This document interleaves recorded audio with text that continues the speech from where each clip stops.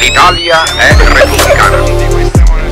Dichiariamo che il divorzio è un attentato contro Dio e contro il Paese. Donna è certamente meno libera anche nello studio, nella conoscenza del mondo. Eh, mi prendo la penna.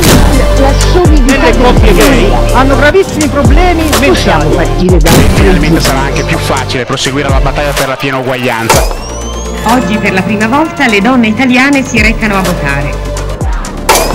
In Italia è possibile divorziare. Perché è meglio il divorzio delle botte con l'intervento dei vicini.